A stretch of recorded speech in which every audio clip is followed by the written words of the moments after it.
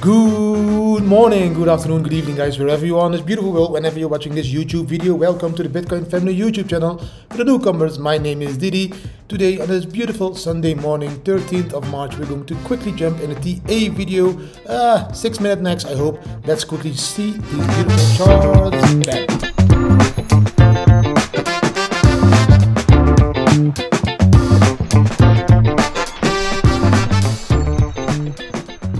First one. So we're here, guys.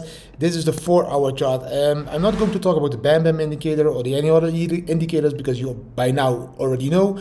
But on the four-hour chart, we can see that on the logarithmic growth curve, we are finding support on the 14.59 uh, percentage Fibonacci level. Again over here. So if we keep support over there, does that mean that we are going to go to that top line again? And that's around 44,900, 45,000, let's say like that.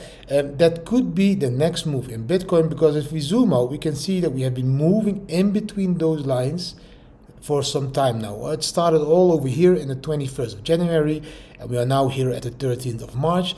So that's over a month. And let's hope we go back again to this level and that we come closer again to that red line over here at 48 and break that one. If we break that one, that would be awesome because that means we'll be moving above the 200 daily moving average. And if we break that one, that would be very positive, guys.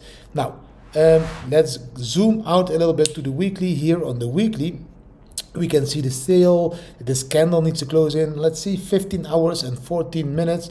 Um, i would love to see it close a little bit higher than uh, the wick is not as long as it is over here but still it's a green candle and it's higher than the previous week. Uh, so that is a positive in my opinion.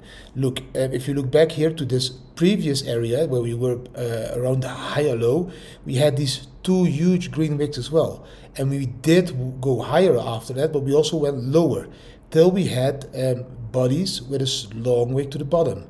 So we had the body with a long wick over here, we had a body with a long wick over there, but these are, um, you know, showing the opposite. So Again, in my opinion, we need to close the candle above the yellow stepping line and there with a full body and that will be the positive start of a run all the way up to the top over there at 65k the Gaussian channel we've talked about it as well this week a few times we are finding support at the bottom uh, but again, this is also candle is going to close in three days as these are five day candles. Uh, we should be closing it a little bit higher, like a little bit above 38,867. We are at 39 at the moment, I think. Yes, so that should be positive. Now, um, do I have any other charts? Yes, I have any a few other charts. This is the first chart, guys. I really like this one. This shows you how many days we have been in which area. So between $1 and $10 we were 411 days. Between 10 and $100 we spent 380 days. Between 10 uh, between 100 and $1000 we spent 1300 days of Bitcoin's history and between 1000 and $10,000 1113 days. Now, from 10,000 to 100,000 we have been spending around 750 days.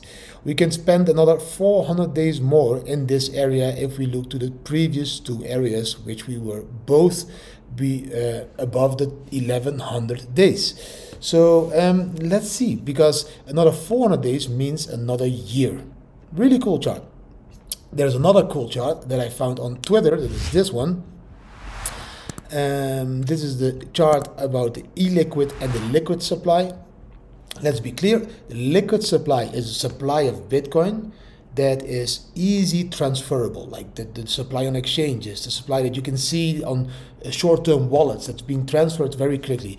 Illiquid is the supply that is like not liquid, but on hardware wallets that is like held there for more than five months or longer periods that is not being transferred into the market. And in total, the supply will be 21 million bitcoins. We all know that we are almost at 19 million bitcoins as a supply. I think it's 18 million, 18 million 980,000 or something like that as a supply. And of that total supply, at the, at the moment, around 76% is illiquid, guys. Which means um, that there's not a lot of bitcoins of those 19 million that is being exchanged that's just being held. So the whole portfolio is growing tremendously. And if you look at this chart this will be growing more and more and more. So for example i will draw this line. This is now the line um, of the uh, illiquid supply, which means that's now around uh, 14 and 14.3 million bitcoins. Let's presume it goes up, it goes down, it goes up again, and comes down, something like this. You know, we then we at the end the, the total amount of bitcoins that's going to be illiquid is over 80%. And that means that only 20% of the bitcoins are able to be sold and bought. So the higher the illiquid supply, the lower the liquid supply. But at the same time, the higher demand grows, the higher the price needs to go because there's not a lot of bitcoins that can be transferred from hands. I hope this is a little bit clear. Pause the video um, and, and, and check the chart again. Top numbers over here, these are the predictions and the actual, actual um, halving impacts that we see. So we think that the halving impact will uh, be uh, 11%, but it was 11.5%. Uh, the next halving, the, the, prediction is 5.9%, but it can again be higher and or 3.3%. Really cool chart. Now, um, I want to end the video with something uh, else. I want to end it with this one because I really want to show you why you should be hodling Bitcoin. I found this one on Wicked Smart Bitcoin over here uh, on the Twitter. I'm going to play this one uh, so you understand why you should hodl Bitcoin. Look at the top. You can see the hodl period is one day and the analyze of total period is 4,500. 2,500 periods were in profit and 2020 were negative results. That is when you hodl one day. Now, check what happens if you hodl longer the amount of periods in positive returns is increasing tremendously and the negative returns is returns are decreasing. So the longer you hodl, the more chance you will have positive returns. You can see the green increasing and the red decreasing. This is a very cool um, video. So understand the longer you hodl Bitcoin, the more positive your return will be. Now that was really everything for today. I hope you really enjoyed this Sunday video. If you did enjoy it, give it a thumbs up, share with your friends and family, subscribe to the channel, hit the notification bell, and leave a comment. What do you think about the charts? Do you understand the illiquid and the liquid part? Uh, and do you understand that you need to hodl Bitcoin because of the video that I just shared? Thanks for watching. I wish you an amazing Sunday and see you tomorrow again. Bam.